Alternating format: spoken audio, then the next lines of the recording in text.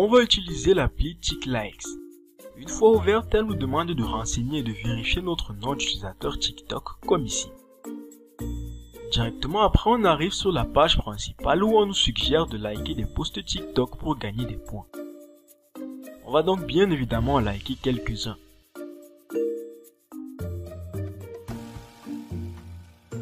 Là, c'est bon. Du coup, on a assez de points pour pouvoir demander à recevoir nos likes.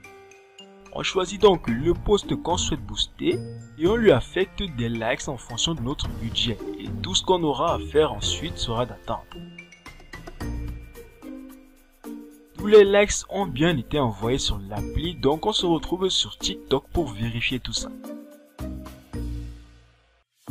Et on peut clairement voir que tous les likes sont en effet arrivés.